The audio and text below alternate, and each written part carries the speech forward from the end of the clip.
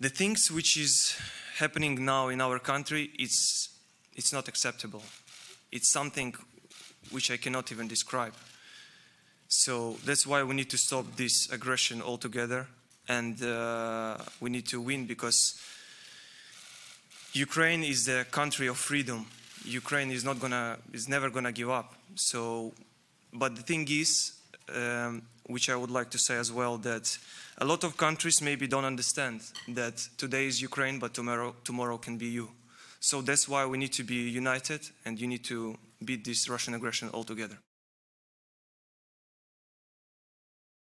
I said many times already in the past uh, that obviously maybe I was holding a few times the, the gun, the weapon, and um, maybe, not maybe, I'm 100% sure that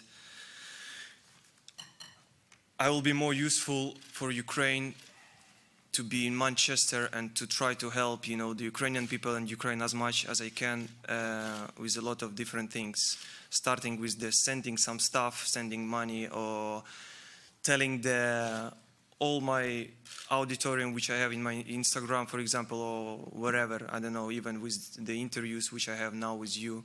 So I need to share this and I need to show to the whole world that what, what is happening right now in Ukraine and the whole, whole, whole world needs to know the real truth. So that's, I feel, that my mission. I hope there will be a lot of still a lot of people, but uh, we totally understand the situation that maybe there is no opportunity for a lot of Ukrainian people to come and watch the game tomorrow. But I'm pretty sure that all Ukraine who has this opportunity is going to watch us, and we're going to feel this support. That's 100%. So, and like I said already many times, to be fair, you know, we can speak a lot, but we need to do on the pitch. So that's what we're going to try to do tomorrow. We're going to try to, to make them happy and proud.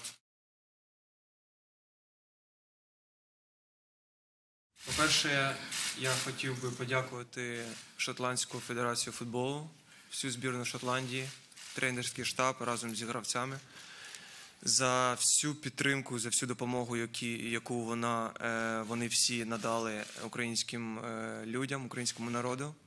Я розмовляв з декількома гравцями збірної Шотландії, е, тому дуже дякую за їх підтримку. По-друге, про настрій хочу сказати, що настрій бойовий. Кожен з гравців розуміє ситуацію на сьогоднішній день, на сьогоднішній день, яка зараз відбувається в нашій країні. Тому хочу запевнити всіх, що е, завтра кожен з гравців буде віддавати себе не на 100%, а на всі 200%.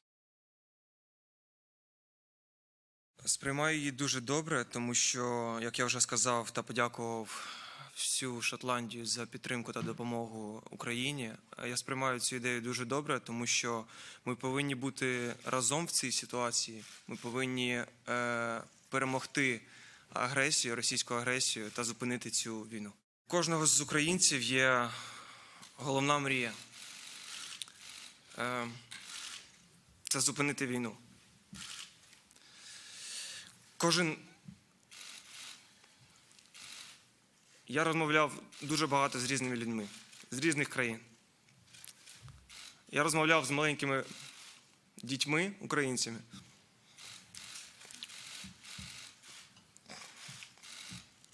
Вони нічого не розуміють. Але вони кажуть одне, що я мірію про те, щоб війна закінчилась. Але якщо кажучи про футбол, то у нас теж є мрія. У нас є своя мрія. Мрія поїхати на чемпіонат світу та подарувати ці емоції українцям в цей непростий час. Тому що вони цього заслуговують. Дякую.